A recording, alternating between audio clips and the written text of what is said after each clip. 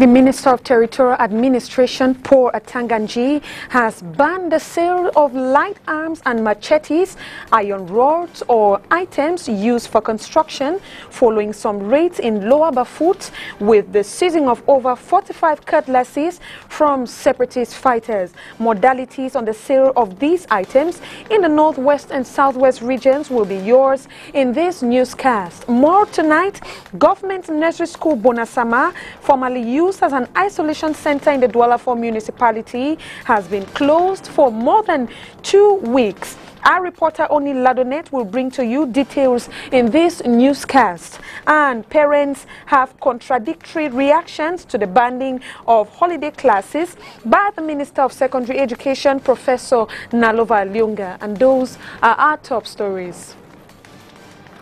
Good evening, ladies and gentlemen. Thanks for joining the 6 p.m. newscast today, August 18, 2020. And those are top stories. The sale and purchase of light arms, notably machetes, iron rods, or items used in construction will only be done after prior authorization officers of the Northwest and Southwest region.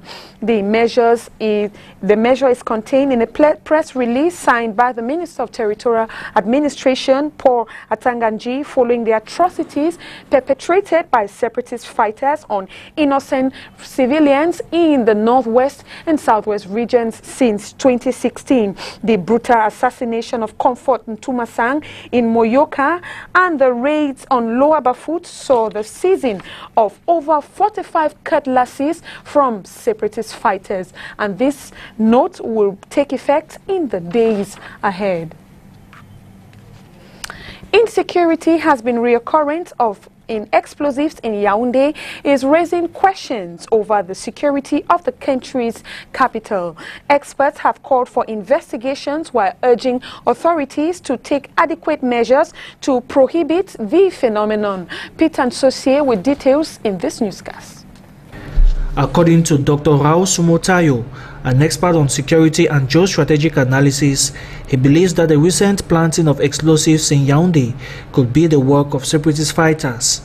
The University Dawn justifies his claim on the mode of operation.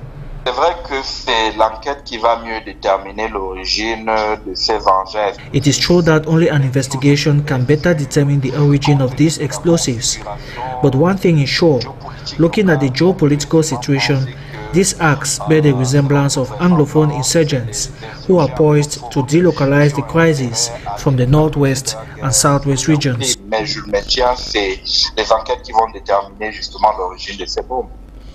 Though not ruling out the possibility of infighting within the ruling establishment, Dr. Sumotayo is upbeat that the aim is to instill fear. The aim of those planting bombs is to instill fear, and if panic sets in, that works to their advantage. So it is important not to fall into their game plan. Security agents in the country's capital city Yaoundé have uncovered at least five artisanal bombs, though some have exploded, wounding some people in the city. But authorities have maintained disturbing silence. The geostrategist thinks that this attitude is a sign of ultimate control. L'absence des réactions des autorités camerounaises traduit au moins une chose. Elles ne pensent pas... The reaction of Cameroonian authorities indicates that these incidents do not constitute a real threat to security. The second idea could be that the authorities prefer the use of intelligence. Voilà, euh, les autorités privilégient des actions en souplesse, des actions de, de renseignement. Government silence is also interpreted as a move not to spread panic. He, however, cautions authorities to put in place adequate measures to preempt the disturbing phenomenon. And let's now listen to Barrister Emmanuel Ashu Agbo, who has rubbished the training and deployment of the pioneer batch of common law magistrates in the Northwest and Southwest regions. The, to the senior advocate who was guest on the program Hatork laments that it is an attempt to francophonize the English legal system. I feel very uneasy when I hear you, you, you talk about that because these are people they say, okay, they are common law magistrates. Yes, thank you for giving them the training. But at common law, you don't train judges in, in, in any school. You don't train common law judges in schools. They are selected from the bar. So I, I mean, it is when we talk, these people don't want to hear. You don't train common law magist magistrates or judges in any school. Go to Nigeria. Do you have a school training judges? Go to England. Do you have any school training judges? Common law, when you say common law, they are picked from among the practicing lawyers who have distinguished themselves. So anyway, we thank them for training our common law magistrates. Uh, that will enable us to at least have some young breed coming up that will sustain common law. But uh, they should know that they, uh, they have to learn to respect the, the norms. At common law, you don't train judges in any school. They are, they are picked from among practicing lawyers. You see, a judge in a common law system is somebody who has distinguished himself in practice. A, a, a, lawyer cannot talk to a judge anyhow because a judge has already been a lawyer. the, the judge is a senior senior lawyer. Senior lawyer. So you see, it, because the judiciary is one. At common law, it is the judicial system. You don't have lawyers this side, judges this side. No. But they are trying to francophonize our common law system. So that's what they are doing by creating a common law uh, uh, division at in they are francophonizing. Uh, exactly, I was coming to good. that. They are is that a mistake? Is that a mistake for government to create the common law I section? Said they are francophonizing our common law practice. So they should not pride themselves of uh, having done anything because it is a francophonization of common law. If they want to respect common law norms, they should select, they should allow us put in place a system wherein our judges and magistrates are picked from among the practicing lawyers. Take you to the Douala 4 municipality and we talk health. The government nursery school Bonassama that was being used as an isolation center in the Douala 4 municipality has closed its doors for more than two weeks. Reasons, according to sources, is as a result of the unavailability of salaries and other bonuses. Oni Ladonet went down to that area and gathered the following details.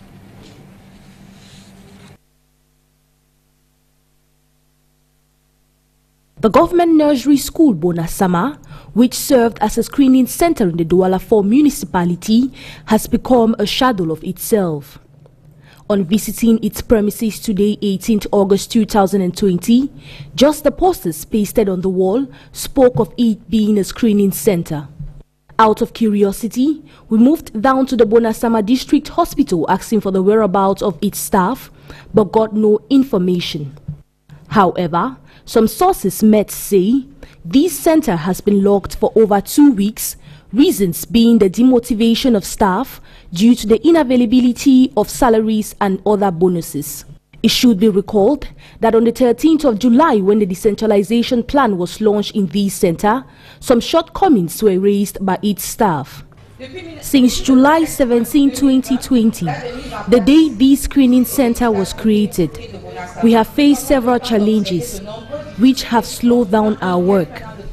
Firstly, the absence of a cleaning agent, the absence of a security officer, the absence of neck badges for patients, the absence of chairs because the funds allocated to take care of these patients are all exhausted, communication credits for staff, the lack of internet connection to send out results, a speech made in the presence of administrative authorities in Littoral, including the governor and the regional health delegate.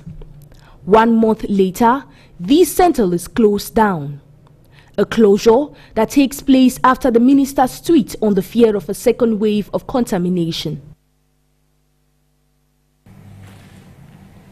The systematic wearing of face masks against the coronavirus is gradually losing its steam in the littoral region, said to be one of the most affected, the second most affected city in the country. Environs now walk the streets without the fear of contamination. Catherine Kone went down to the streets and has these details.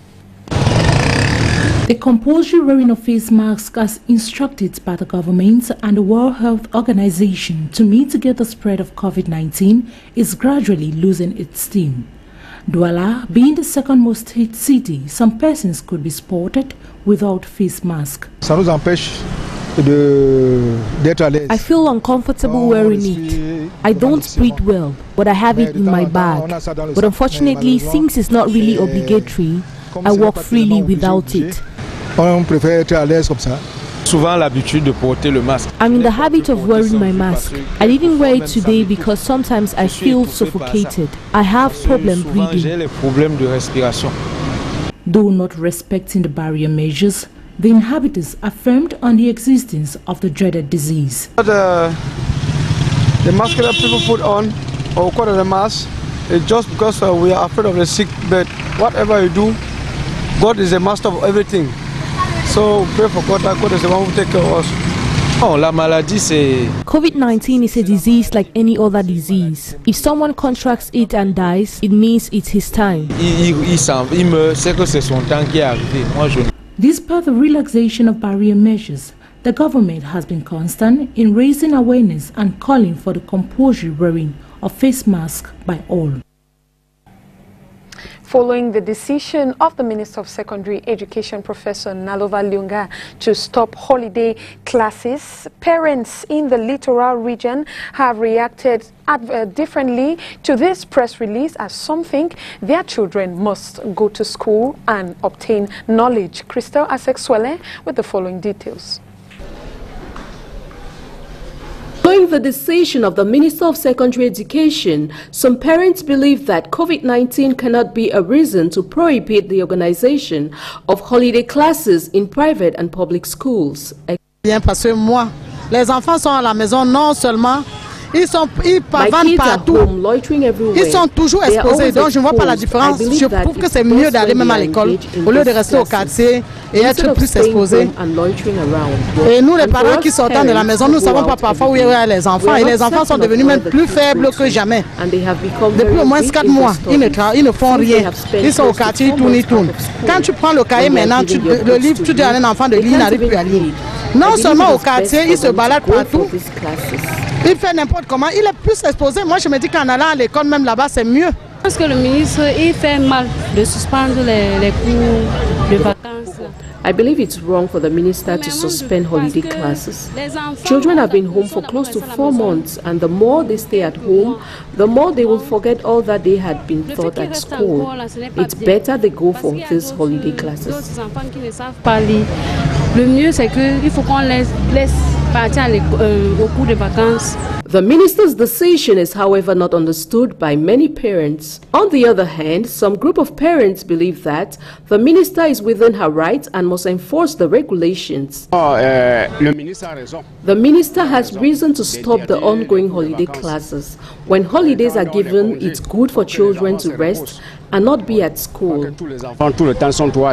Un parent euh, Considering that my daughter has spent almost three months at home, it was the best option for her to do holiday classes.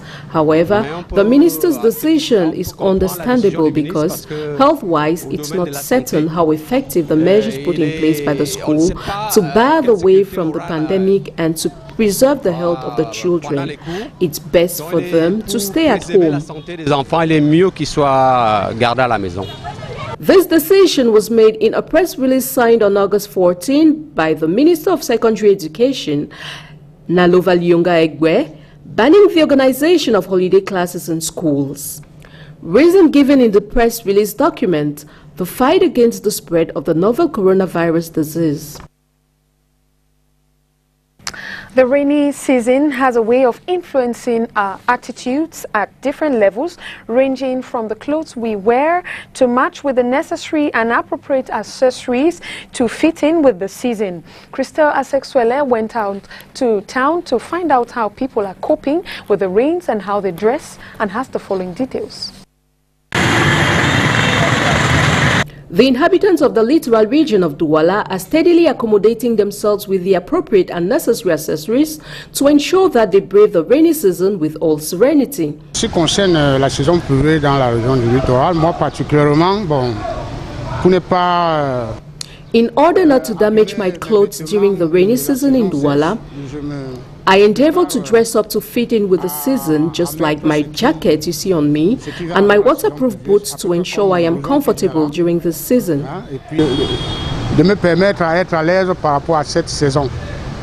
These particular changes in habits and practices are made to fit in with the season. Bon, on est obligé de s'accommoder désormais du parapluie. C'est un accessoire qu'on avait laissé We are forced to accommodate ourselves with umbrellas, an accessory we had abandoned on our balconies for a while, and waterproof boots instead of our ordinary shoes to prevent them from getting worn out by the rains. We are also obliged to accommodate ourselves with raincoats because there are some days here in Douala when the rains are uncontrollable and unnerving. Se fait vraiment, vraiment, vraiment pressante et énervante à la limite. However, after this period, these accommodations and accessories are abandoned and only resurface during the next rainy season.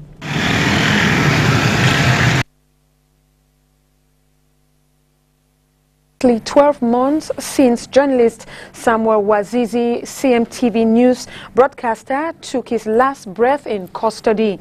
His lawyer, barrister Emmanuel Nkea, reveals that authorities have maintained sealed lips on the circumstances that led to his demise. Details in the following report. One year on, and the circumstances that led to the death of Samuel Wazizi has not been reviewed. According to the lead counsel of the disease, Barrister Emmanuel Nkea says, We have not been made part of the process. If there is any investigation going on by the state, we have not been invited. We have not been requested to, the family has not been invited. So we, we, we have been left in the dark.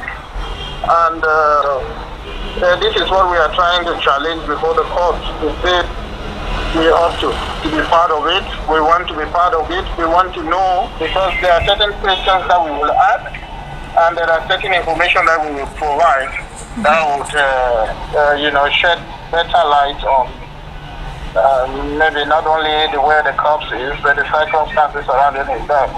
He added that neither him nor his family members know the whereabouts of his corpse. We, we, we have never seen his corpse. We have never known where the corpse is. Uh, so we, we assume that the corpse is in the custody of the state because, uh, in fact, one of the prayers that we were asking was that uh, the court should make an order for the state to transport the corpse to Buea to his family because that is where he was arrested.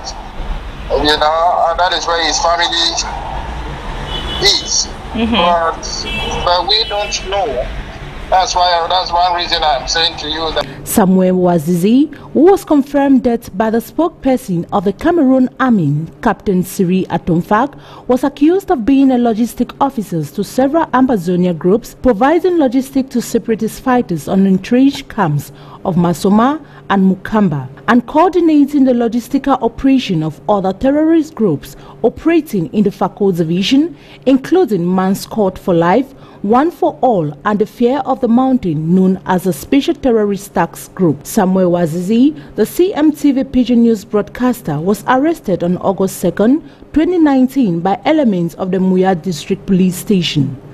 300 days after his arrest and mysterious disappearance, the latter was only confirmed dead on June 5, 2020, whereas the release from the Ministry of Defense stated that he died on 17 August 2019.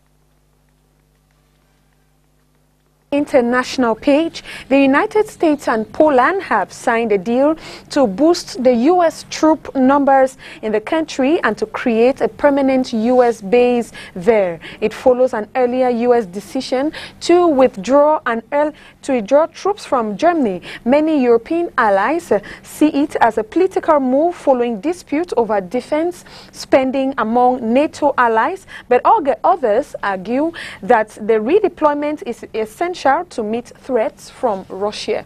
Details with the VOA. There are already around 4,500 US troops in Poland, part of a rotating deployment in Eastern Europe. The new agreement between Warsaw and Washington will make that deployment permanent, with an additional 1,000 American troops on the ground. The headquarters of the US Army 5th Corps will also be relocated to Poland from Germany. US Secretary of State Mike Pompeo signed the deal Saturday during a visit to Poland. Troop levels matter. Uh, the number of soldiers someone has someplace. As a former tank officer, I, I know that. The deployment is strategically significant, says analyst Jonathan Eyal. This is about uh, a deterrence, a deterrence to Russia, and a reminder to all Europeans that all member states of NATO are entitled to the same security guarantee. Poland says the deal will help defend against threats from Russia. It is important to our security, and it is important that they should be deployed in Poland and not in Germany. President Donald Trump announced plans last month to move 12,000 US troops out of Germany, accusing Berlin of failing to meet NATO defense spending targets. He said around half would be sent home, with the rest deployed to other NATO allies. We're protecting Germany, so we're reducing the force because they're not paying their bills. It's very simple. US officials say the partial withdrawal of troops from Germany and the deployment in Poland are not linked. Berlin has warned the moves could weaken the NATO alliance. Analyst Jonathan Eyal says changes are long overdue. In reality, what it is, is a proper recalibration of the alliance more than 30 years after the end of the Cold War. What is the point of having uh, many troops massed in Germany for purely historic reasons, but having no troops uh, in the countries that feel most vulnerable and are indeed most threatened uh, by threatening noises from Russia? NATO allies deployed several thousand troops in Eastern Europe following Russia's forceful annexation of Crimea and invasion of eastern Ukraine in 2014. Moscow has described the presence of US troops in Poland as a threat to its security. Henry Ridgwell for VOA News, London.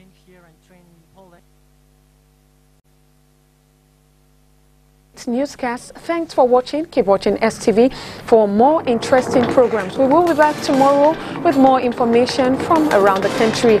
Thanks and good night.